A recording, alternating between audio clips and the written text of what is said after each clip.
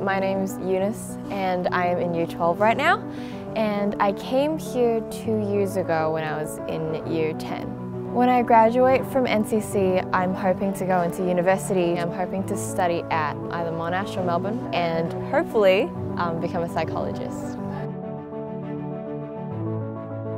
The reason why I want to work as a psychologist is because I see that a lot of kids, they really do need help. And sometimes some parents don't really know what help that you know their children need. And I feel like um, if I were to become a psychologist, I could really provide that help that someone may desperately need at the time.